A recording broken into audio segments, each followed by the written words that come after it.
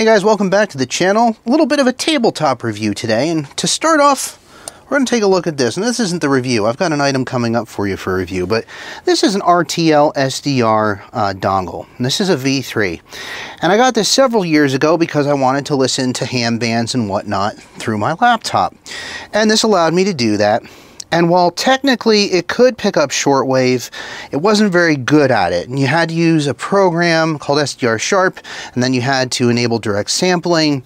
And it wasn't really built to pick up HF or shortwave signals, kind of in that range of the radio spectrum. So um, while it could work, I knew that I wanted to move on to something else. So the next thing I got was this unit right here. This is an RSP1A from SDR Play. I don't know if you can see the writing on there. SDR Play.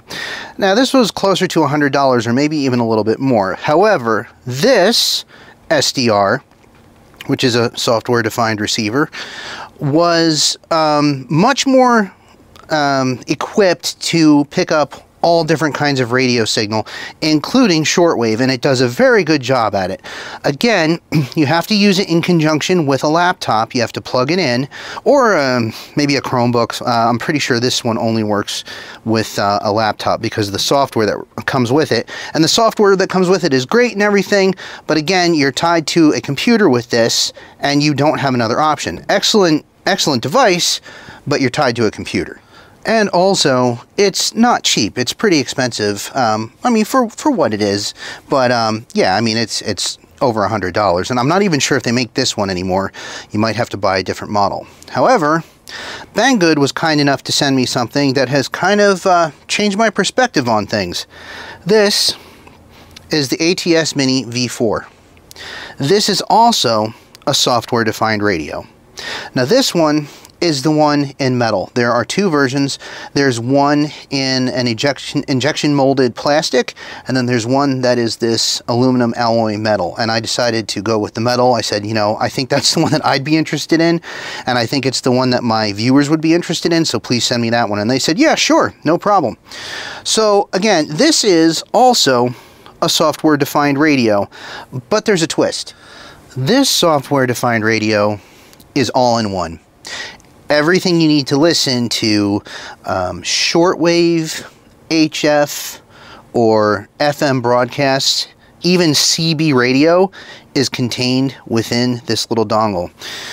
It has a great little screen on it you'll see in just a second. And in fact, it's not a dongle, although it can kind of act like one. Let me turn the volume down because we're not going to get anything here at the moment.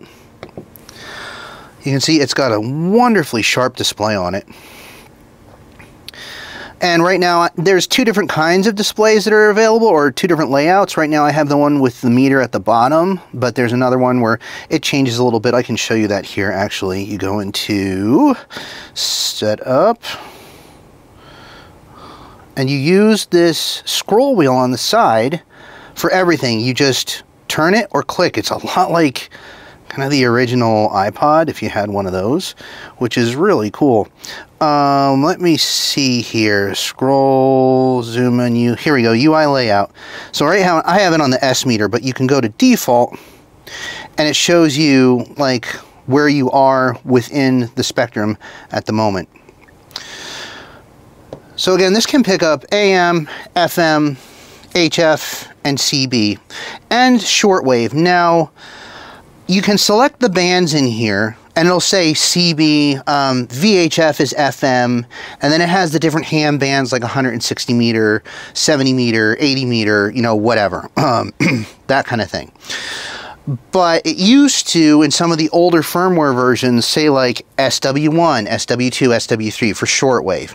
Now in this firmware version, they don't have it listed that way. I'm hoping they bring that back, but it's still usable and you can actually sweep the entire spectrum that this can pick up if you select the all mode that is available in this.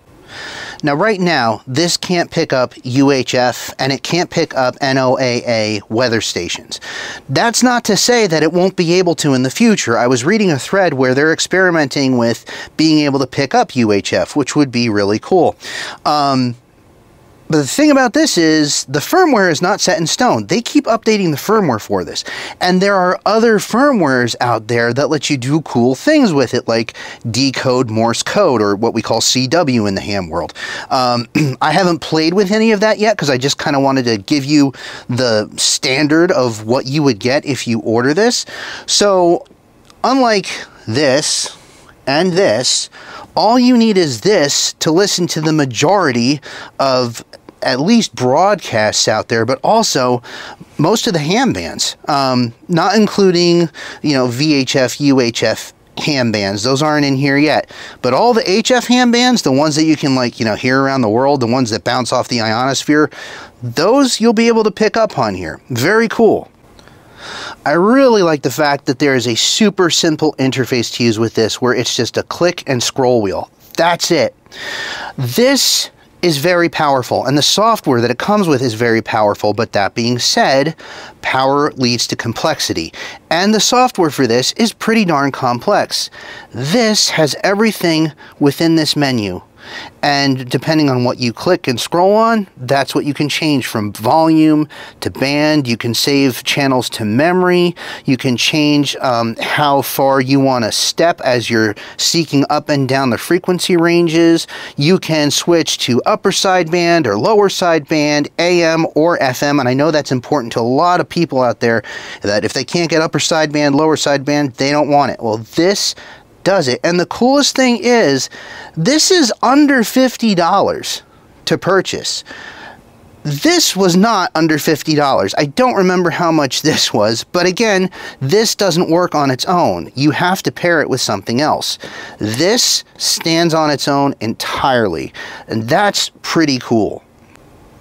Now, this is V4 of this device, the ATS Mini V4.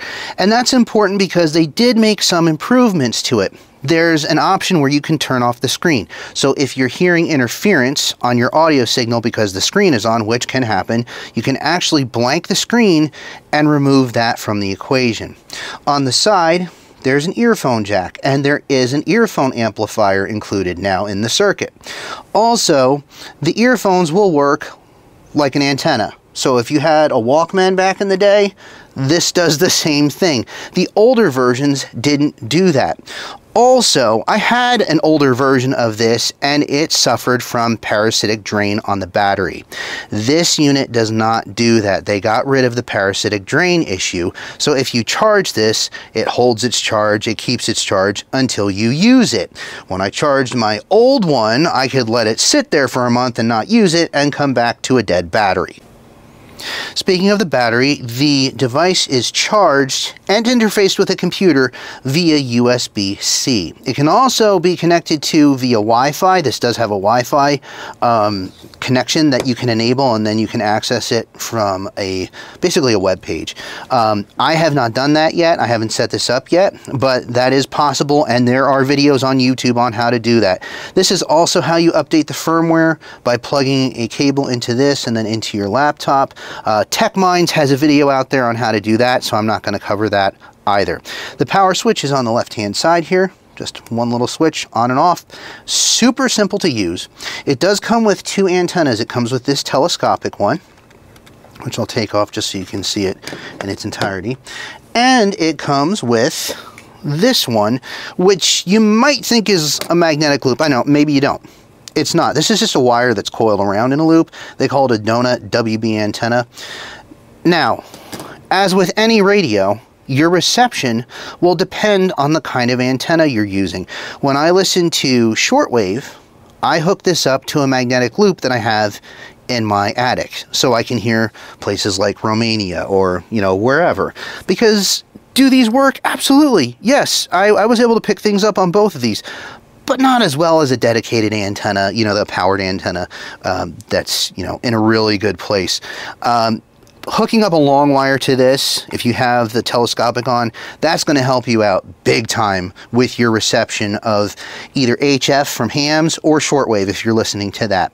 Um, these work well enough, definitely for AM, FM, um, in those broadcast bands, no problem. But um, yeah, if you want to really uh, get good reception, get yourself a long wire antenna or, um, you know, put a magnetic loop up somewhere and you will be very surprised. Now, I tested this on my magnetic loop antenna in my attic, which also hooks up to this.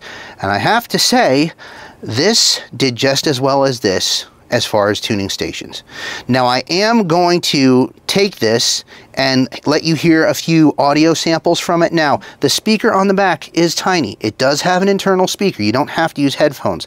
That being said, it sounds like a tiny speaker, so you're not going to be blown away by the audio quality, but the reception quality is excellent. So I will take this and we'll listen to the different bands. I'll see what I can find that's clear so you can hear what each one sounds like, and we'll be right back by Brady Schopper, but not before he ends at the three-yard line. It'll be first and goal for Lansdale Catholic. Yeah, there's nothing you can do about that. As as Cobble rolls to his left, they've been they've been really trying to get in the first half. First time, there's a little underneath route. Pass is caught, and it's good for a first down. As Idris Jother will make the catch right at the the cross had been a symbol of sun worshippers since the time Okay, so now you heard what it sounds like, and it also comes with this function configuration card that tells you where in the menu things are located and how to get to them, which is helpful. If you want a full manual on it, you go into settings and there's a QR code that you can use your phone on, and that will take you to a web page that has the full instructions and everything. Also, where you can get firmware updates for this. Again, like I said, this one actually came with the latest firmware, so there was nothing to update, and I'm sure it will be the same for you if you order it. Now the cool thing is this one is often more expensive than the um, injected molded plastic version. However, Banggood has given me a coupon that takes $7 off of this, which means you're only going to pay $2 more for this version than the plastic version and I think that's amazing. And um, Banggood has set up an affiliate link for me that I will put in the description below along with the coupon code so you can use that. This would make a great stocking stuffer. Um, it would make a great gift for any ham geek that you know out there, or any radio geek, or actually any technology geek because we love this stuff. I'm more than just a ham geek. I'm into all sorts of technology. Um, but that's what we focus on on the channel. So great gift idea. It definitely will not break the bank if you, you know, if money's tight, I get it. I get it. That's why I love this kind of stuff. So you can save a ton during Banggood's Black Friday sale using that code. Um, you know, prices will fluctuate, so get while the getting's good, I guess. Um, no hard sales tactics here. I just want to let you know what they tell me. What I what they tell me, I pass on to you. So that is the ATS Mini V4, an exciting little unit to have, and I'm going to keep playing with it and um, see what kind of other firmware out there uh, I can put on it and see what it can do and uh, maybe I'll make another video on it soon. I'm not sure, but yeah, really neat device and like super tiny. Just cool. All right, so that'll do it. I'm Matt, and remember, when it comes to tech, I've got you covered.